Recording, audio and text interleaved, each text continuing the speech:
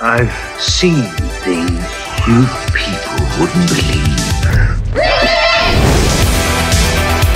Shall we play a game? Here we go. Dead or alive, you are coming with me. Do or do not. There is no try. I can handle myself. Yeah, I noticed. The sleeper has awakened!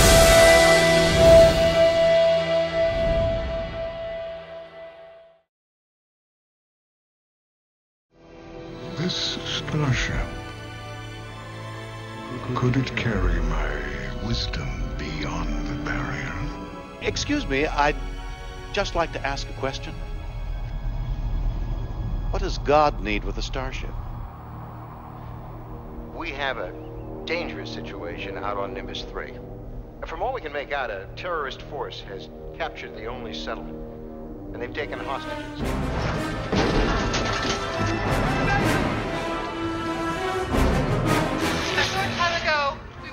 Surrendered ourselves to the forces of the Galactic Army of Light.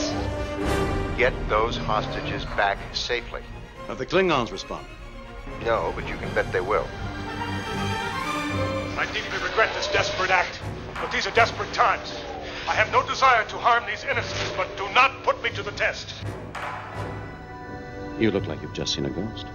Perhaps I have, Captain. It's Sybok. After all these years, you finally caught up with me. I ordered you to defend your ship. You ordered me to kill my brother. You must surrender. Shoot him! Sybok also is a son of Sarek. You made that up. I did not. A hostile force has taken control of our vessel. Understood, Enterprise. We are dispatching a rescue ship immediately. It's time I announced my intentions to the rest of the ship. Our destination is the planet Sha Ka Ree, which lies At the center of the galaxy. Every culture in existence shares this common dream of a place from which creation sprang. For us, that place will soon be reality. The only reality I see is that I'm a prisoner on my own ship. What are you standing around for? Do you not know a jailbreak when you see one? You can't expect us to stand by while you take the ship into the Great Barrier. I dreamt that a madman had taken over the Enterprise. Scotty, dear, he's not a madman. Sybok has simply put us in touch with feelings that we've always been afraid to express. This con man took away my pain. Damn it, Bones, you're a doctor. You know that pain and guilt can't be taken away with a wave of a magic wand. I don't want my pain taken away. I need my pain. Warp speed now.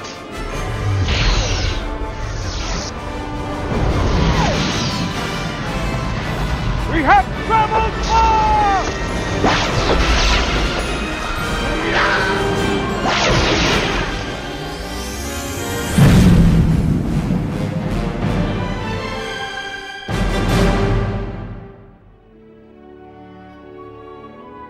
Star Trek V The Final Frontier warp speeded its way onto the big screen on the 9th of June 1989 in the USA and hit the UK on the 20th of October. Directed by Captain Kirk himself, this would be William Shatner's first feature film behind the camera, following the path of his co star Leonard Nimoy, who handled directing duties on Star Trek 3 and 4. This film had a budget of nearly $30 million and didn't perform as well as its predecessor, raking in $52 million worldwide, but thankfully it did perform well when it hit home video and Laserdisc. The film was met with mostly negative reviews from the critics, with most highlighting its weak script and rubbish special effects. According to the film's producer, the film nearly killed the franchise. The New York Times considered the film to be disappointing to fans and non fans alike. The Washington Post called it a shambles, and it made Siskel and Ebert's list of the worst movies of 1989, along with another big blockbuster, Ghostbusters 2. It wasn't all doom and gloom for Star Trek V. It did get some favourable reviews, with some critics highlighting its well executed humour, the performances, especially Laurence Luckinbill as Cybok, and the cinematography by Andrew Laszlo. The film came out at a challenging time, facing stiff competition despite a strong push with marketing and licensed products such as action figures. 1989 was the year of sequels, and the summer season was packed with big hitters such as Lethal Weapon 2, Elm Street 5, Back to the Future Part 2, Ghostbusters 2, Karate Kid 3, The Last Crusade, License to Kill, and the most anticipated film of that year, Batman. Star Trek 5 ended up having its shortest run out of the long running series at the cinema, as cinema owners were making space for the following week's big movie. Star Trek 5 over the years has become a guilty pleasure for some, and others still feel it's a massive letdown, with all films that have troubled productions, it's often how they were made people find more interesting than the final product. So in the case of Star Trek V, it's become an interesting what if. What if Shatner got to make the film he originally envisioned and had FX House ILM at his disposal, it could have been the most ambitious entry in the franchise. Leonard Nimoy had directed Star Trek 3 and 4, with the latter proving to be the most successful at the box office and was critically well received. William Shatner had agreed to return for Part 4, but had a deal put in place that he would direct Part 5. With The Voyage Home being a hit, Paramount Pictures were very keen to crack on with a follow up. Shatner conceived his idea for the film's story by watching televangelists. They were dominating TV during the 80s. Bill felt they were repulsive, strangely horrifying, and yet he became absolutely fascinated with them. Shatner was intrigued that not only did these personalities convince others God was speaking directly to them, but they became wealthy by what Shatner considered false messages. The televangelists formed the basis for the character Zar that was later renamed to Sybok. In Shatner's early draft, Kirk is overwhelmed by Sybok's superior numbers of followers, and Spock, McCoy, and the rest of the Enterprise crew come to believe in Sybok's divinity. Kirk pretends to believe in Sybok's message in efforts to travel with him to the God planet. When Kirk confronts God, the image of the being transforms into that of Satan. Shatner presented his ideas to Paramount and they liked what Shatner came up with, and they agreed to hire a writer to draft a film treatment. Producer Harve Bennett was exhausted by his work on the previous three Star Trek films and wanted to move on, feeling that he was not part of the Star Trek family after having a difficult experience on the voyage home. But Shatner managed to convince him, but Bennett disagreed with several elements of Shatner's story, feeling that because no one could assuredly answer the question of God's existence, the ending of the film would never be satisfying. The studio agreed with Bennett, reasoning that the subject matter could be too weighty or offensive to theatre goers. Star Trek creator Gene Roddenberry objected to the character's search for God in general, and more so the idea of a God portrayed by Western religion. Roddenberry, Nimoy, and Kelley all disagreed that Spock and McCoy would betray Kirk in their efforts to follow Sybok. Shatner and Bennett began rewriting the story. Bennett suggested going for a safer option of turning the god entity into an evil alien, pretending to be God for his own gain. They approached Star Trek II writer and director Nicholas Meyer to pen the script, but he was unavailable. Bennett luckily stumbled across a script by David Loughery and showed his work to Shatner. They agreed that he would be a good fit for the task of scripting Star Trek V, and David was excited to be involved. In 1988, the Writers Guild of America went on strike, causing David to stop working on the script, causing delays to the production. When the strike came to an end and David returned, Bill Shatner wasn't happy with David's revisions, which he felt transformed the search for God into the search for the mythical paradise Sha Ka Ree, a place of ultimate knowledge of which Sybok had received visions. The script was also rewritten to address Nimoy and Kelley's concerns about their character motivations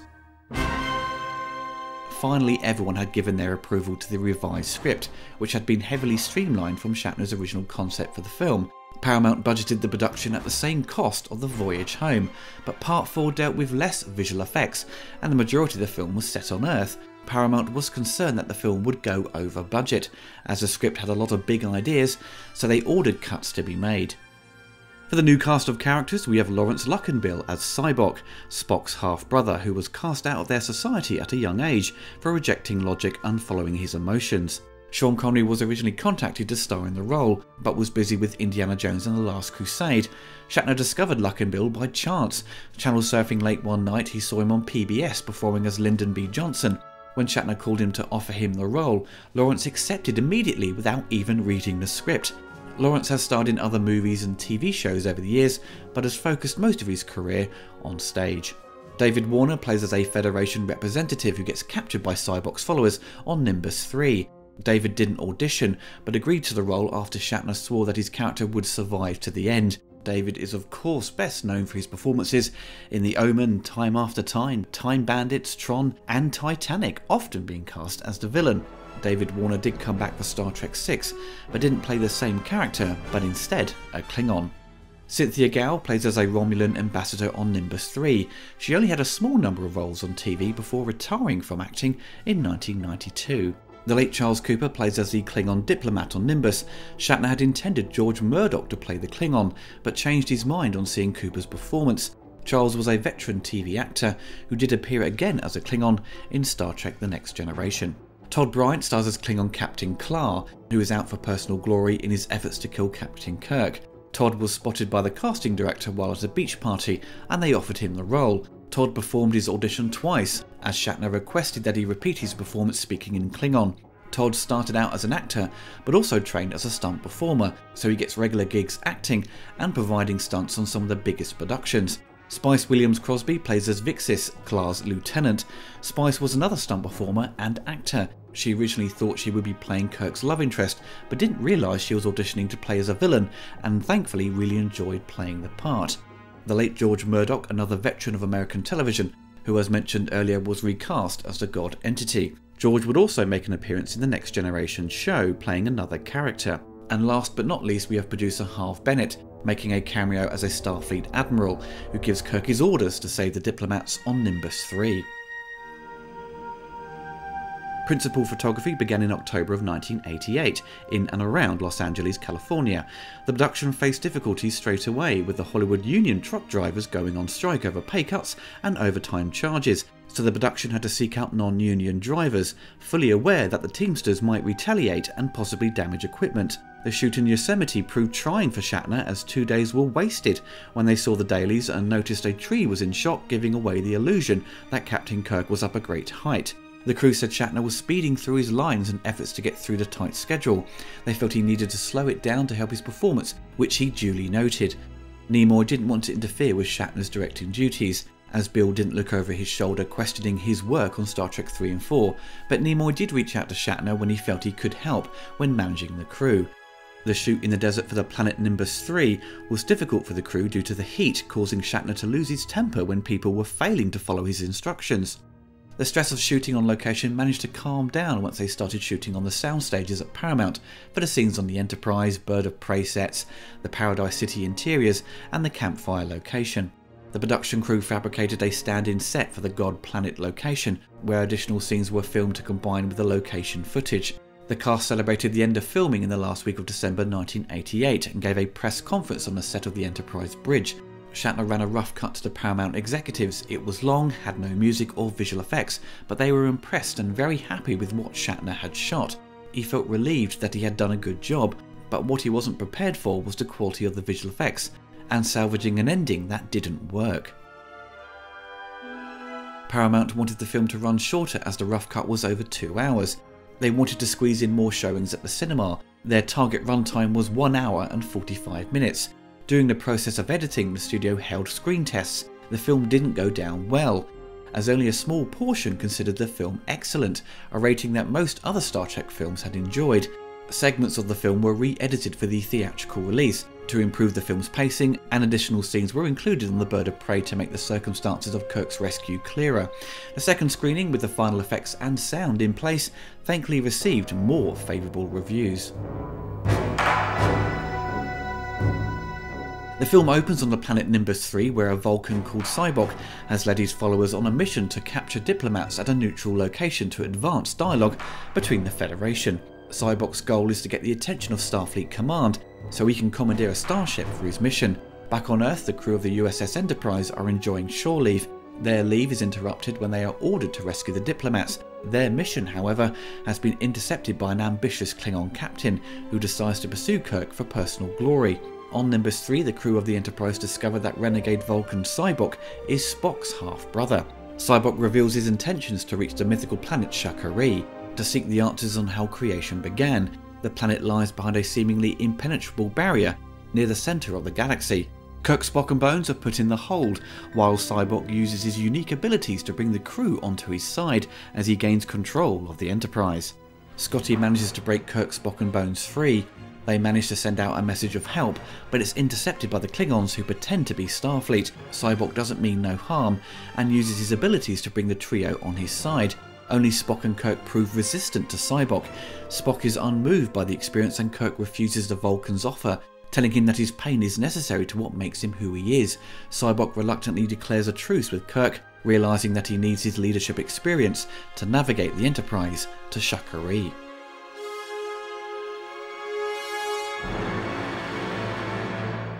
The Star Trek films always had Industrial Light and Magic at their disposal to create the visual effects, but for Star Trek V the FX company was swamped with work. As 1989 was scheduled for many big event movies, ILM were working on Ghostbusters 2, The Last Crusade and The Abyss. The producers had to find another FX house to take on the job and work within a tight budget of around $4 million and a short time frame.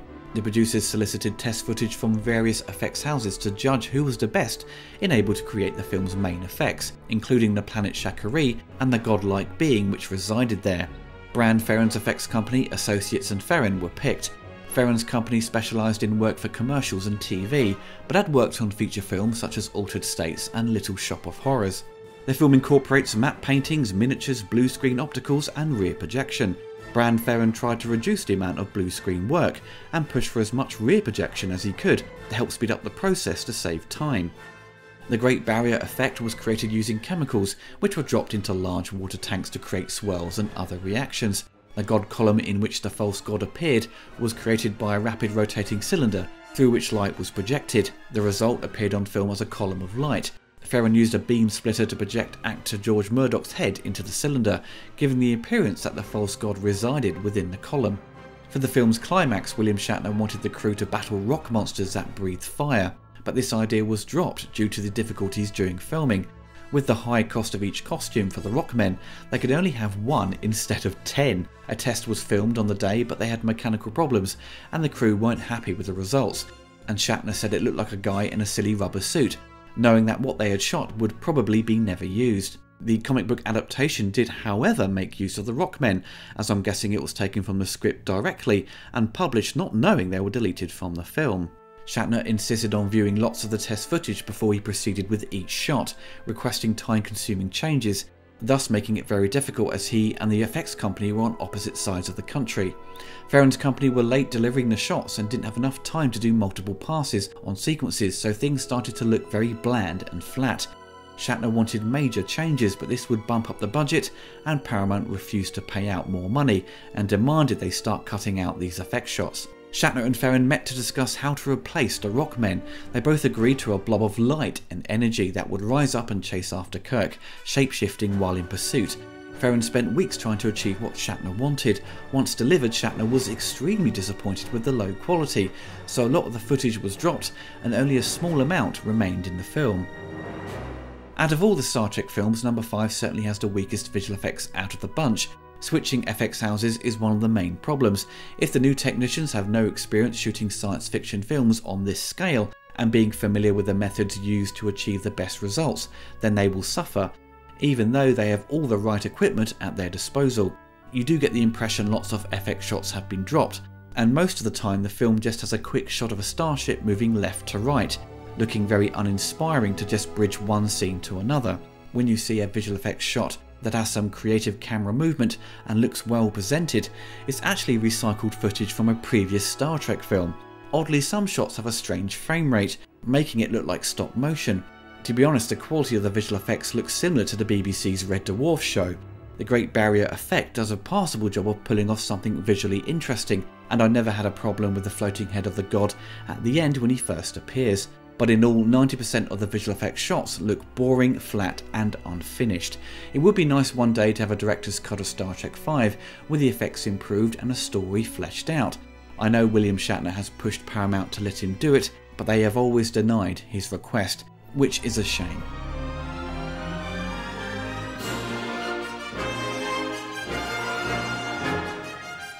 The legendary composer Jerry Goldsmith returns to the franchise to provide the score. Jerry kickstarted the movie series and introduced a new theme for Star Trek, taking inspiration from his good friend Alexander Courage, who created the original theme tune for the TV show. Composer James Horner took over for parts 2 and 3, and number 4 had Leonard Rosenman. Both composers brought on their own themes, but with Jerry back at the helm, he returns his classic theme that at the time had been used as the main theme tune for Star Trek The Next Generation. Jerry's score to Star Trek V features all his classic traits bold action cues with percussion rhythms and forceful brass. As the movie has moments of drama and comedy, Jerry didn't want to bounce between the two and just focused on the drama and themes for the God Planet, which he highlighted as being the most difficult. Once they arrive on Sha Ka Ree, there is a five note theme that does sound somewhat familiar to his work on Ridley Scott's Legend from 1985.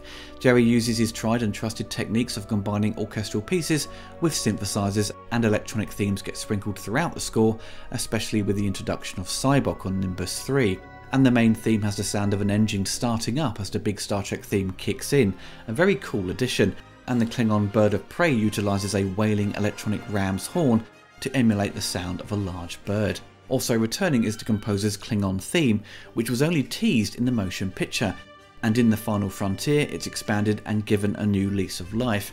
The score came to LP tape and CD in 1989 and certainly wasn't complete with extensive edits and the tracks in a random order. Thankfully, Star Trek and Jerry Goldsmith fans got the chance in 2010 to get hold of an expanded version, featuring the complete score and some alternative cues. This album is a definite must have and is still available for $25 from Intrada.com.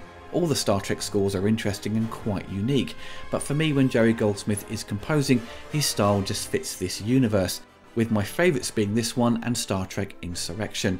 You could add Star Trek the Motion Picture, due to its unique mix of lush melodies and experimental synth compositions, but Final Frontier and Insurrection get the most playtime due to the great mix of action cues and great rendition of the Star Trek theme.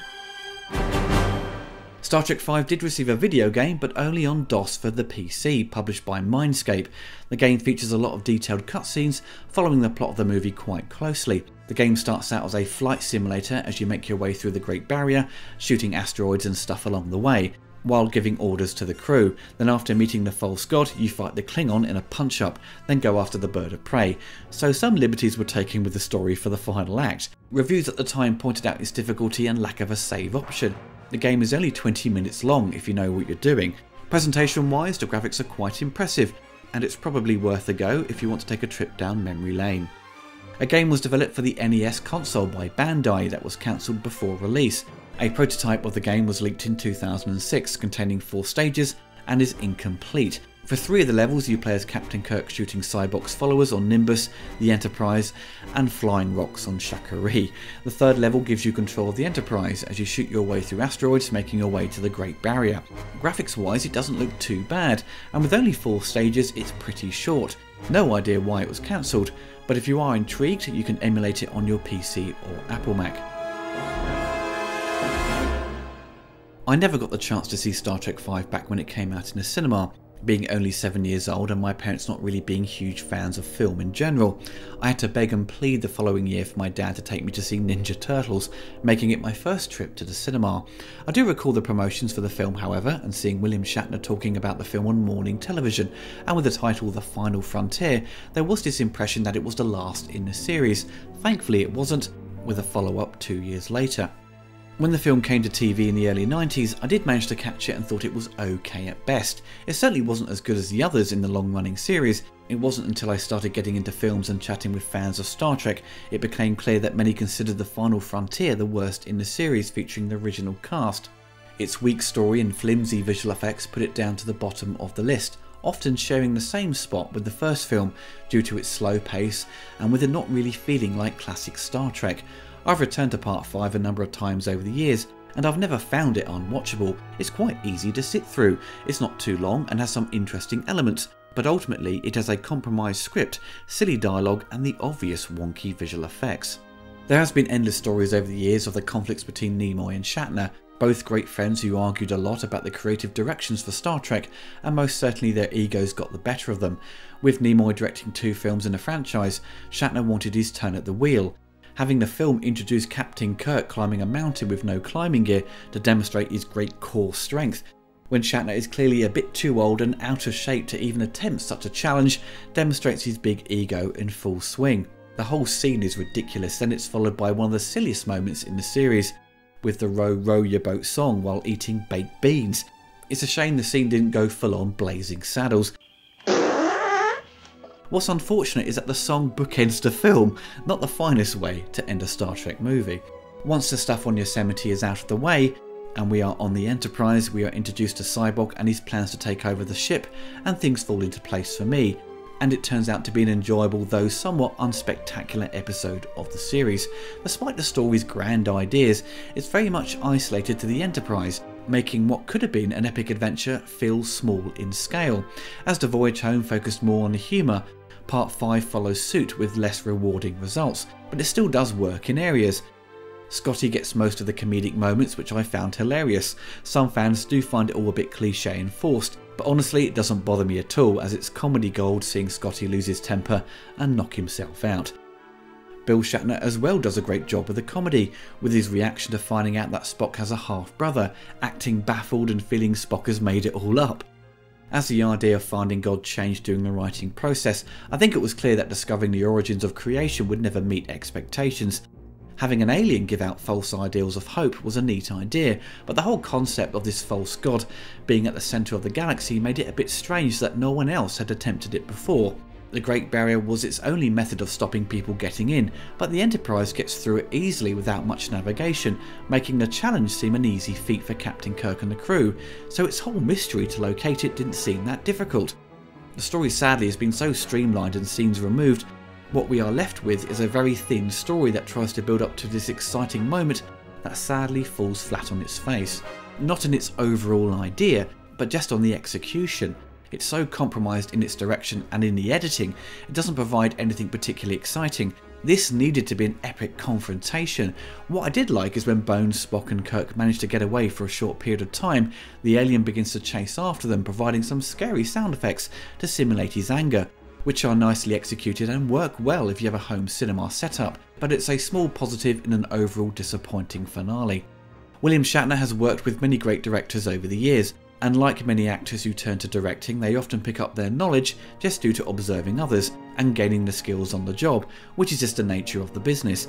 Shatner had directed some TV and theatre, so he wasn't a total amateur when it came to directing, and with Star Trek V he does a splendid job of getting great performances out of the actors, the best sequence in the film is when Sybok gets the crew to confront their fears and pain. Bones sees his father on his deathbed and Spock witnesses his own birth, and his father acting in disgust in how human he is. Spock doesn't seem that affected as he has come to terms with his human side. Kirk backs off and doesn't want his pain taken away. He needs his pain because that defines him. Apparently Kirk is supposed to see his son David, but I don't think they ever shot that sequence. The whole scene is certainly up there as one of the most dramatic moments in the series. Laurence Luckinbill as Sybok is clearly the highlight of the film, giving a very theatrical performance, making all these scenes a joy to watch. Seen as the villain from the start by Starfleet and Captain Kirk, but it becomes clear very quickly his motives aren't to hurt anyone, and his blind ambition and sense of importance dictates his goal to find Sha Ka Ree at any cost, and realises the error of his ways once confronted with the alien and sacrifices himself to protect the crew. I think the only downside is that we are told of his and Spock's relationship, but we never get a lengthy scene with them together to fully explore their differences and have them rekindle their friendship in any meaningful way. We are shown moments of regret from Sybok near the end, but it's just lacking in execution. So when Spock reflects on Sybok at the end on how he lost a brother, it doesn't quite hit the emotional beats to get across to the audience of his loss. William Shatner made the great move of hiring Andrew Laszlo to photograph the film and to help assist him in getting the best shots, Andrew worked on The Warriors, Rambo First Blood, and Inner Space. He's a fantastic cameraman. He really makes the film look epic, especially the opening sequence, which feels like a scene ripped from Mad Max. Then we see the bar on Nimbus 3 designed and lit with neon lights. This bar somewhat mirrors the Cantina bar on Star Wars, though this has the advantage of showing us a Thundercat. The Klingon ship has a very smoky interior, where Part 3 relied on a lot of blues and reds for the bird of prey. This has more of an industrial look compared to the clean and slick style of the Enterprise. The Enterprise has a great contrasty look with warm colours and dark blacks, as Laszlo shoots many scenes in shadow and making use of backlighting, just giving the film an extra level of detail and depth. This may be my favourite looking film out of the original six movies. Star Trek V is probably the weakest out of the original bunch. It may be a tad better than the first film, it really depends on what mood you're in. The first film, despite having amazing visual effects for the time, it lacks the energy, pace and moments of interaction between Spock, Kirk and Bones that make Star Trek so special, and Star Trek V, despite its failings, has those classic moments, so it feels more like traditional Star Trek than the first entry in the series. The Final Frontier for sure has its problems, and they are hard to ignore, but the performances, its visual style, and score by Jerry Goldsmith make it watchable for me. People often say every other Star Trek film is rubbish, the odd numbered ones for example, but even though they are weaker, that doesn't mean they are awful or unwatchable. They still have their moments and still stand up to repeated viewing. I think most of us who decide to go on a Star Trek binge and watch the first six movies featuring the original cast, we can happily sit through all of them. It's unfortunate William Shatner didn't get to fully realise his vision for this film. What we got was heavily compromised. The heart and passion for the story is there, and the cast give it their all, but the adventure we go on to the final frontier doesn't live up to what it promises. Is God really out there? Maybe he's not out there, boss. Maybe he's right here. Human heart.